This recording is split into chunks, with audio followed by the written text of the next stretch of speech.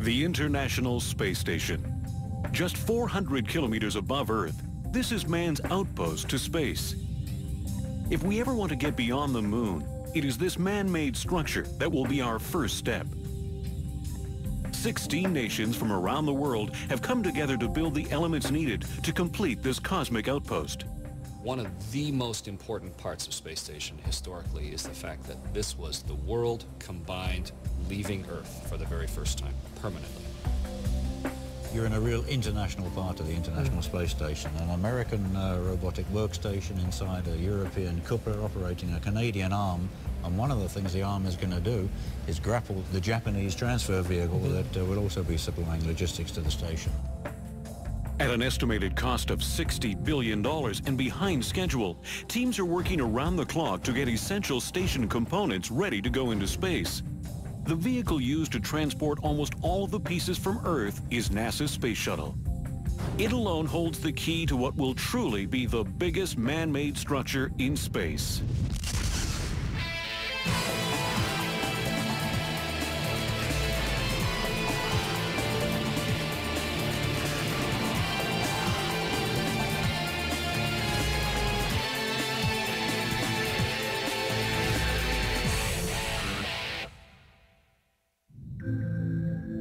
Weighing in at more than 180,000 kilograms, the International Space Station orbits the Earth every 92 minutes. As it travels over us at a speed of 28,000 kilometers per hour, scientists and engineers from four continents are busy building the parts for this unique research center. These include the Columbus Laboratory under construction in Germany, the Node 3 and Cupola observation deck built in Italy, and the Japanese experiment module now stored at the Kennedy Space Center. Also in Florida, waiting to leave Earth, is an extension to the spine of the space station called the Truss.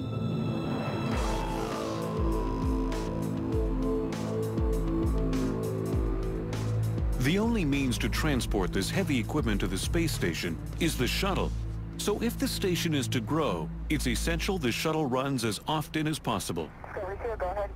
Okay, Eileen, our long wait may be over.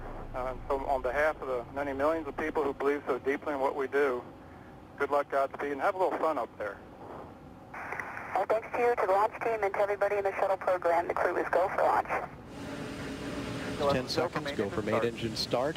Seven, six, five, three engines up and burning. Three, two, one, and liftoff of Space Shuttle Discovery, beginning America's new journey to the moon, Mars, and beyond. Commander Eileen Collins confirming Discovery is rolling onto a course for rendezvous with the International Space Station. Standing by now for burnout and jettison of the twin solid rockets. Discovery jettisons external fuel tank. The shuttle's destination is the International Space Station. From the uh, launch team down here, we have a lot of smiling, happy faces now that the United States is back in the crew launch business. The task of supplying the hardware and know-how to build the International Space Station is assigned to a global network of spaceflight experts and scientists. Some of them have devoted their entire careers to making the International Space Station a reality. The combined manpower that has gone into building, launching, and in-space assembly of the space station to date represents the biggest construction project in history. But it has all come down to this. Can they get the hardware and equipment still needed to complete the station into space, and at what cost? Sometimes the cost is more than money and man-hours. On February 1st, 2003, the shuttle program suffered a catastrophic setback. See here. Look at that. Yep, we're getting some G. Let's let go of the car and it falls. This is amazing. It's really getting uh, really bright out there. And Columbia, Houston, we see your tire pressure messages and we did not copy your last. Roger, uh,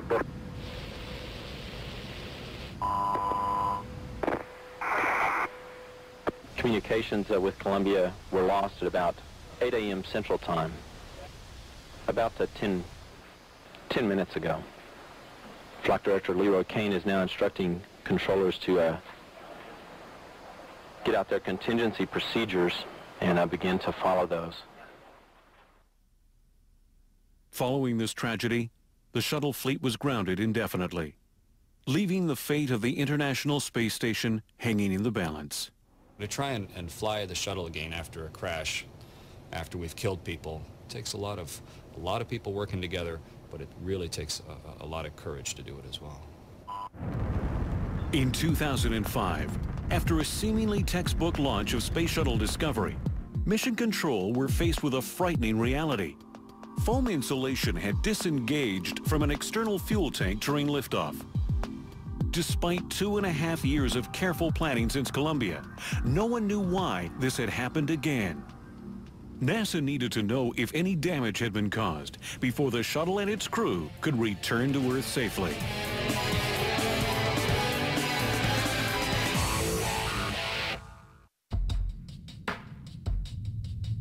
July 2005. Earth waits as NASA prepares to inspect Space Shuttle Discovery for damage. The very future of the International Space Station hangs in the balance. Billions of dollars worth of space hardware sits on Earth waiting for a ride into space.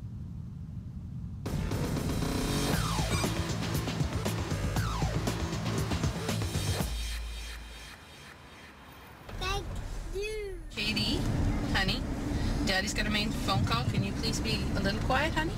I think if they can't land in Florida, they end up landing in uh, California. Ian Christie and his team at Neptec developed the laser scanning technology used to search for damage on Space Shuttle Discovery. The team have just returned from Houston, where they processed the critical in-orbit scans of the shuttle.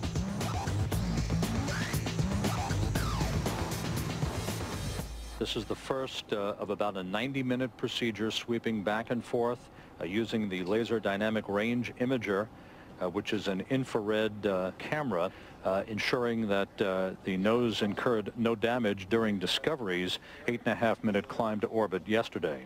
But I bet there's a bunch of flight directors and people in the MMT who were quite happy to have 3D data and will wonder where it is next flight if they don't have it. The yeah. nose cap uh, piece of damage actually did have some laser camera data. So yes. of all the things that they were concerned about, that one was presented there. And that's without having having thought a lot about how to get the data. I mean, next flight lessons learned will will be expecting to do contingency stuff, right? Yeah, it seems like whenever they want to look at tile, uh, they look at LCS. The laser camera is attached to a shuttle arm which maneuvers it around the craft. The scans were a success, and damage to the shuttle was located. A piece of filler from between the thermal protection panels that protect the shuttle from extreme heat on reentry had become dislodged at launch.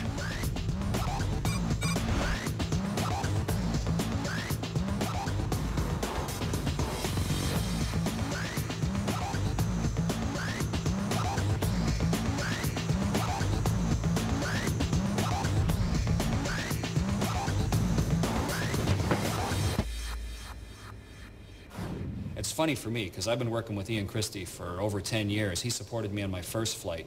And to see those, those early thoughts of the lasers and the cameras that we need, to see them evolve and grow into something that made it possible to fly Discovery